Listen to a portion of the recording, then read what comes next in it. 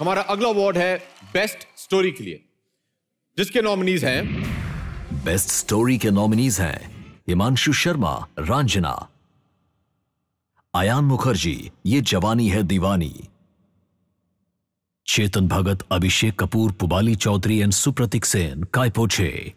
Jaideep Sahni, Shuddh Desi romance Prasoon Joshi, Bhaag Milkha Bhaag. Ritesh Batra Ritwik Ojha the lunch box Shagufta Rafique Aashiqui two zenith goes to Kai Poche for the best story. Abhishek Kapoor, Supratik Sen, Pubali Chanduri, Chetan Bhagat.